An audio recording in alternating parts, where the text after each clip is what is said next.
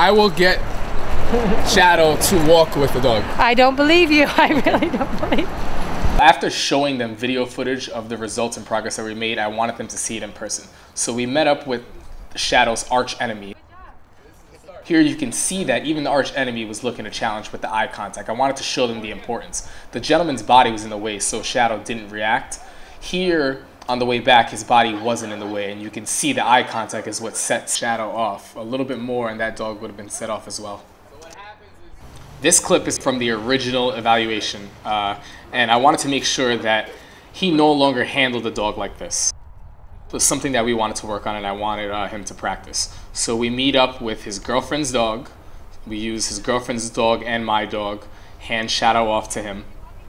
And from this point on, it was just a matter of getting him the hands-on experience so he could do it on his own. Starting with the muzzle, his goal is to just keep Shadow focused on moving forward and not allow Shadow to fixate so that he could learn to start coexisting with other dogs and not going crazy every time he sees a dog. It shouldn't be a big deal. Just like when we see people on the street that we don't know, we don't go crazy. There's no need for him to go crazy every time he sees a dog. So it's just conditioning him the same way he sees anything else in the city.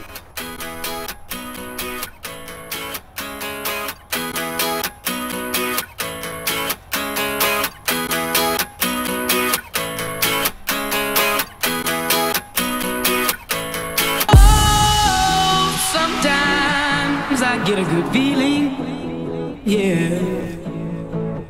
I get a feeling that I never, never, never, never had before. No, no, I get a good feeling, yeah.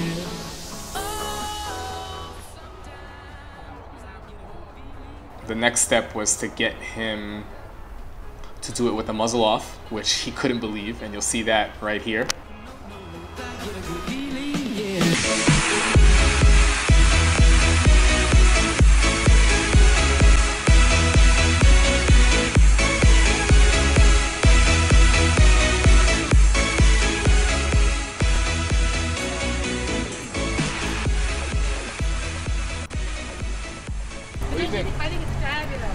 Now, for safety reasons, we put the muzzle back on as I hand more dogs off to him. I wanted him to experience walking shadow with at least one other dog, but he wasn't 100% confident, so I didn't want to take things too far. We put the muzzle back on shadow, but we still see amazing results and success even after we come across this lady who has no control of her dog as we try and walk around her and she blocks us. Continuously says sorry, but just stays there because her dog is 100% in control.